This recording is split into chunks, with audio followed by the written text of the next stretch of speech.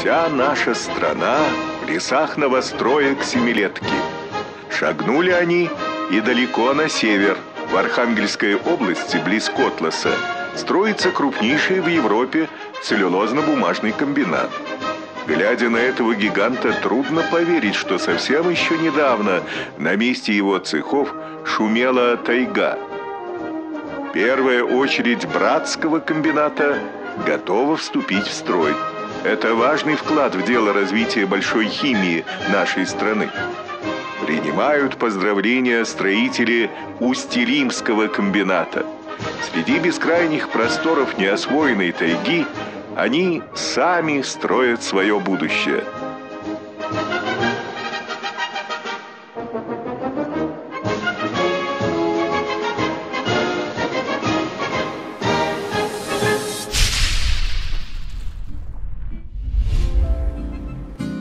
Есть фотографии еще вот мамины строительства города Усть-Илимска. Там есть вручение комсомольских билетов там вот на горе. Я самый молодой, в принципе, из коллектива, вот из здесь присутствующих. 18 лет работаю на предприятии, Сергей Константинович 25, вот Серега 28 лет. Сергей Валерьевич.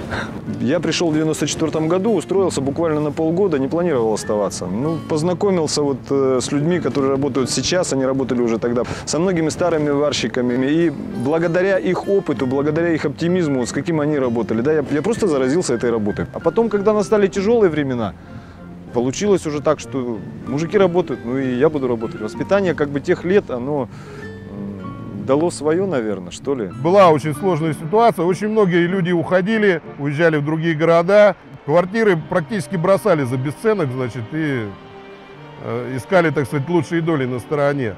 Мы простояли практически полная остановка в течение полугода. Завод не работал совсем.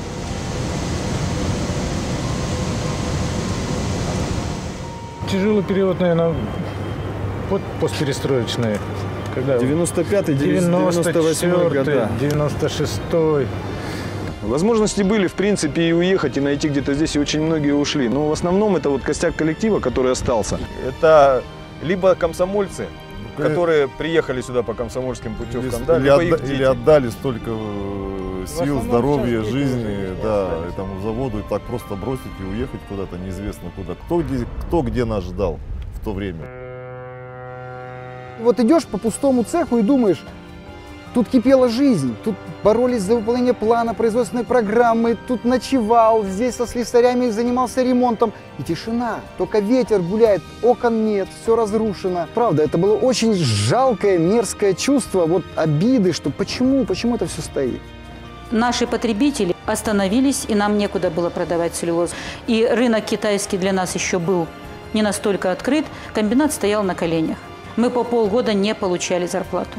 Бесплатно работали, талоны давали, огромными бумагами. Ходили в столовую, отоваривались. И на одежду меняли эти талоны. Это были как валюта. Кружки, шторки, всякую, Местная. ну, всякую ерунду. Колготки детские. Ей было 4 года, мы ее прокормить не могли. Отправим к бабушке в деревню. Сама по ночам реву, потому что дитё в деревне. Холодильник отключен, печка тоже не нужна была. Готовить было нечего. Ну ничего, выжили.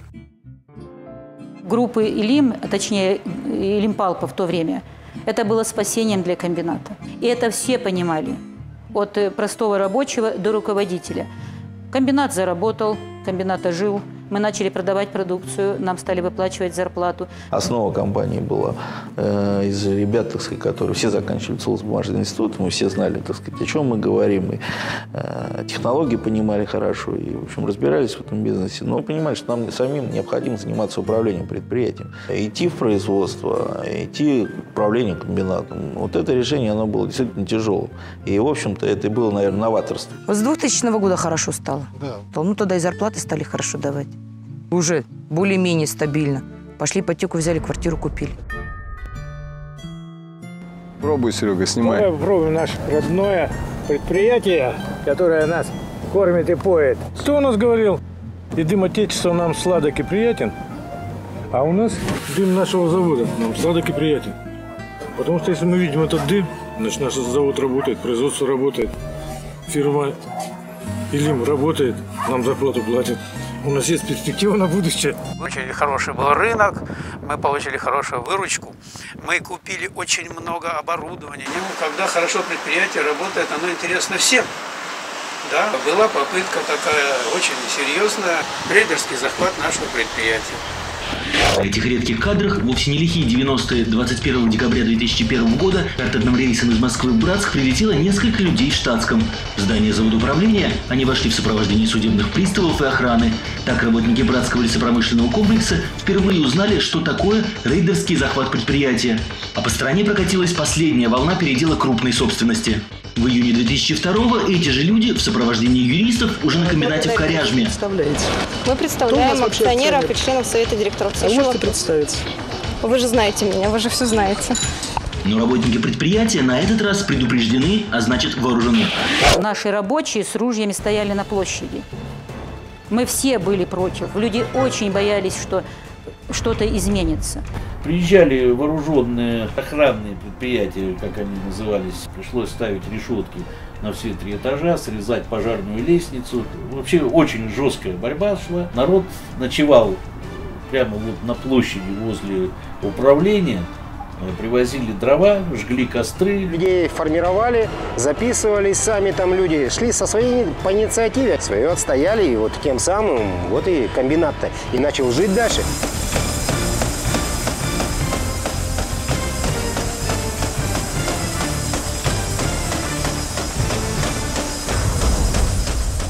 Компания достаточно быстро зализывала раны в материальном смысле, но а, было совершенно очевидно, что 5 лет выброшено. То есть 5 лет никто не занимался технической модернизацией, говоря уже об инвестициях. Практически все заводы были выведены так сказать, в достаточно быстрое время, уже к шестому, мне кажется, году, к концу пятого, на максимум своих возможностей.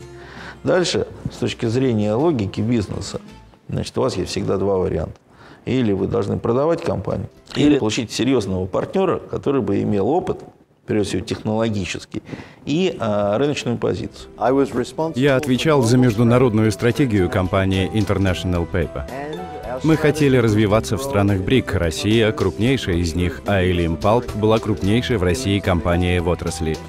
Когда мы объединили наши усилия, первое, что мы сделали, это четко обозначили наши задачи. Одна из них – развивать торговлю с Китаем – для этого мы создали бизнес-единицу «Восток», чтобы развивать наши сибирские мощности и увеличить экспорт в Китай.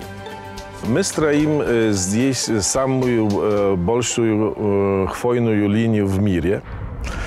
Производство этой линии будет 700 тысяч тонн в год беленой хвойной целлюлозы. Будем использовать современную технологию. С точки зрения затрат будет дешевле, чем старые производства. Для экологии эта линия будет приносить хорошие результаты тоже. У нас работают люди из Польши, Америки. С нашими поставщиками работают скандинавы, люди из Франции, Германии. Разные интересные люди. Я прибыл в первом потоке иностранных специалистов. Мы работаем над капитализацией компании и ее активов. Это красивая страна, прекрасные люди. Вот сейчас мы будем выпускать Большой Братск. Нам каких-то профессий не хватает, в частности. Уже и у Коряжмы, и у Стилимска я попросила нам дать на какое-то время содовщиков. У нас в это время будет работать и старое оборудование, и надо пустить новое. А значит, нужны люди. Мы отправляем э, наших специалистов в Братск. Я думаю, что ребята не только окажут помощь нашим коллегам, партнерам. Надеюсь, что они э, привезут сюда э, бесценный опыт. Раньше все комбинаты представляли из себя предприятия, которые конкурировали между собой за эффективность, за большую социальную сферу, за свои успехи. Это были маленькие государства. Сегодня группа «Элим» – это компания, объединяющая в себе три крупных предприятия. Мы не конкурируем, мы помогаем друг другу, мы дополняем друг друга, мы занимаемся одним делом. У нас единые цели, единая политика, единая миссия. Мы дышим одним воздухом.